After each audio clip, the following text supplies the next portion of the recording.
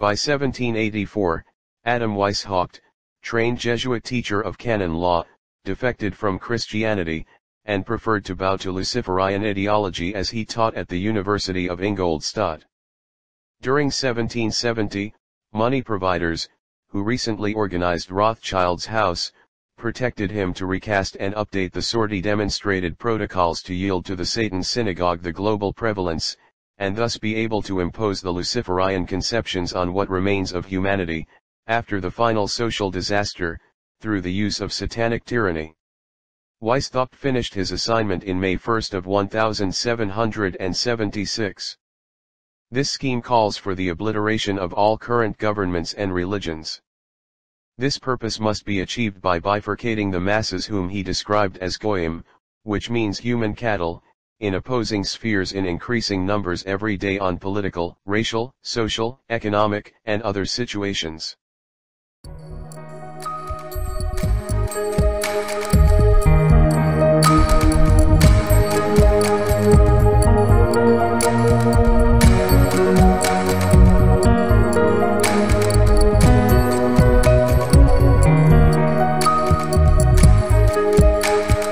Opposing sides would be protected, and an event would be generated that would make them fight and attenuate while they destroyed national governments and religious institutions.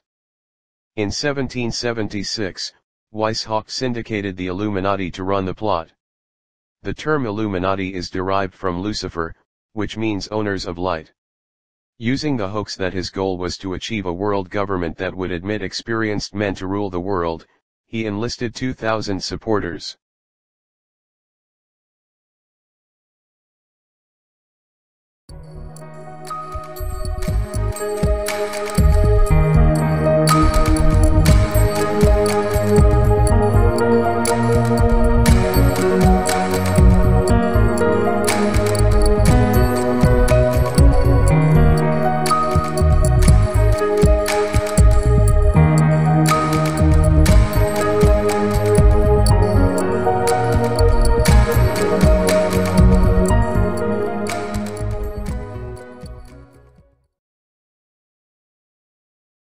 included the most intelligent people in the field of arts, letters, education, science, finance, and industry. Later he created lodges of the Grand Orient, that would be the secret general sites. Weishaupt's recast program asked his Illuminati to do the following things to help them fulfill their intention. Number 1. They use monetary and sexual bribery by acquiring control of the people who are already in charge of positions of high importance in the different tiers of all governments, and other branches of the human movement.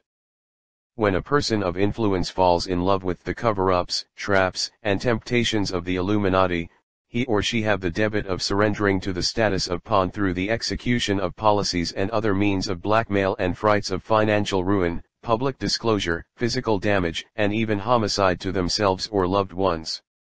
Number 2. The Illuminati in the college and university professorships have to entrust the students to master an outstanding mental power, and that is characteristic of well-educated relatives with international affections for a particular preparation in internationalism.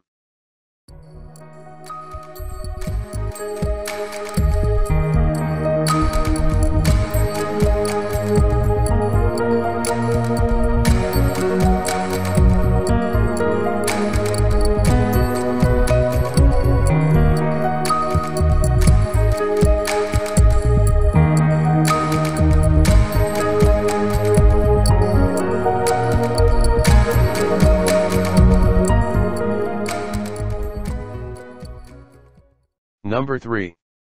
Ascendant individuals trapped to surrender under the grip of the Illuminati and students who would have been taught and trained, would have a duty to serve as agenter and be placed behind the stage of all leadership as masters and knowledgeable to enable them to notify the chief directors approving policies that, later on, would exercise the hidden projects of the one-worlders inciting the extreme ruin of the governments and religions elected to serve them. Number 4 the Illuminati would receive the domain of the press and the rest of the organizations that provide information to the citizenry. The information in the news should have been skewed so that the Goyim thought that a one-world government was the only remedy to our numerous and diverse issues. Since Britain and France were both superior powers of the 18th century, Weishaupt asked the Illuminati to promote the colonial wars to reduce the British Empire and to syndicate the Great Revolution and mitigate the French Empire. This last thing planned to begin in the year 1789. The German author named Franz Xaver von Zwack put the inspected version of the old plot into book form and titled it Einige Original Originalskripten. In 1984, a copy of the book was issued to the Illuminists that Weishaupt sent to incite the French Revolution. The messenger died due to lightning when he was in Ratisbon on his journey from Frankfurt to Paris. The guards found a destabilizing document on his body and it was taken to the state domain. After careful observation of the plan, the Bavarian government commissioned the police to raid the newly organized Weishaupt lodges in the Grand Orient and the residences of his more ascendant colleagues, attached to the castle of Baron Bassus in Sandersdorf. Additional evidence acquired led the faculties to believe that the paper was a legitimate copy of a conspiracy for which the Synagogue of Satan, which controls the Illuminati above power, plans to use wars and revolutions to achieve having one type or another of a single world government.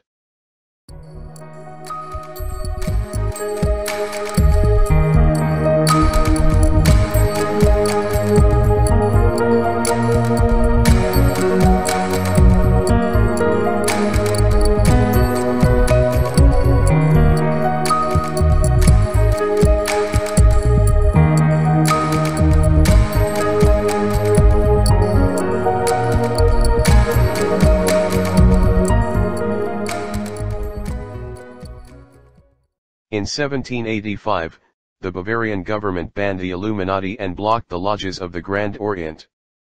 In 1786, they disclosed the points of the conspiracy. The English headline given, the original writings of the order and sect of the Illuminati. Transcriptions of the Cabal were issued to heads of churches and heads of state. The capacity of the Illuminati is so great that this warning was disregarded, as well as the communication that Christ had given to humanity. The Illuminati went undercover. Weishaupt pointed out his Illuminists to permeate the lodges of the Blue Masonry and create a hidden society within others. The American author Albert Mackey, known for his texts on Masonry, pointed out that the color blue is categorically the proper dye for grades of ancient craftsmanship. The Hebrew word for blue when talking about spiritual situations is techelet, derivable from a root word meaning perfection.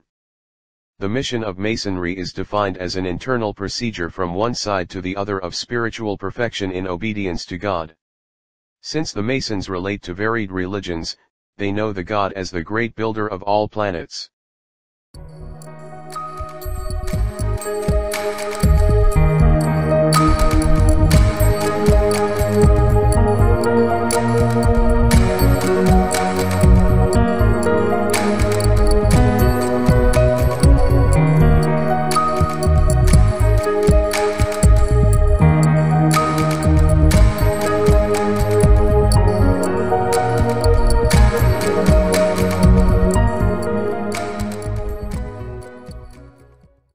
Freemasons who proved to be internationalists, and whose actions indicated renouncing God, started out as Illuminati. This is how the conspirators used the cloak of philanthropy to keep their revolutionary and subversive events secret. Philanthropy is related to the Illuminati beliefs that their good actions will balance their bad actions to gain power, a Gnostic Kabbalistic perspective. Much of the philanthropy of the Illuminati bosses is immoderate.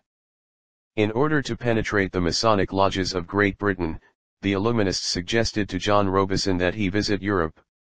John Robison did not lower his guard and realized that the Illuminati plan for a benevolent dictatorship was pure deception. Given the support presented to church and state leaders who disregarded the warnings given to them, the revolution exploded in 1789. To ruffle other governments about their risks, in the year 1798, John Robison released a book, called Proofs of a Conspiracy to Destroy All Governments and Religions. Notifications from him were dismissed as many have been. Thomas Jefferson was a student of Weishaupt. one of his most loyal protectors when he was outlawed by governments. Jefferson was part of the Illuminati within the Scottish Rite Lodges that were organized in New England. On July 19, 1798, David Papin, leader of Harvard University, shared a similar warning to graduates at a conference on the influence of Illuminism on American politics and religions. John Quincy Adams formed the Masonic Lodges of New England. In 1800, he opposed Jefferson for the presidency. He then wrote three texts to Colonel William Letstone discovering how Jefferson used Masonic lodges for extreme purposes.